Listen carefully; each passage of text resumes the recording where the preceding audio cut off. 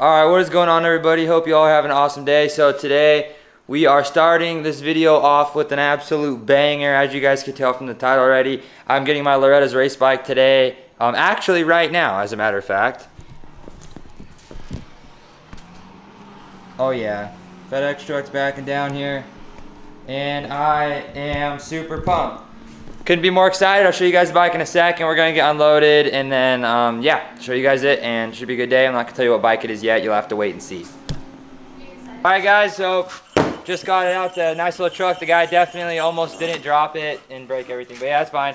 So the Loretta Lynn's race bike is a 2021 Gas Gas 250. I uh, want to give a massive shout out to JMC Motorsports uh, for the opportunity to race for them at Loretta's for one, and for getting me this bike here. Um, took a little longer than we wanted because it got stuck in Idaho shipping, but yeah, it's good. So we'll get this thing together and get riding.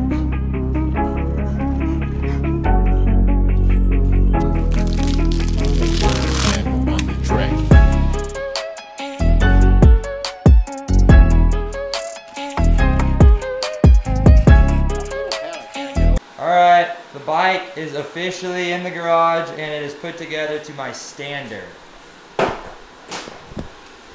This thing is an absolute beauty. I am so stoked on this bike. Um, I just want to give a massive shout out to Steelcore. Um, he really made all this possible for me, me getting this bike, racing this year, everything. It's really come down to him. Also shout out to JMC for getting the bike and for helping me out at Loretta's this year. It's going to be sick.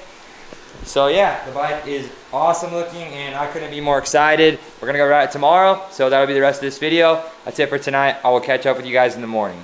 Peace. To Paris MX today.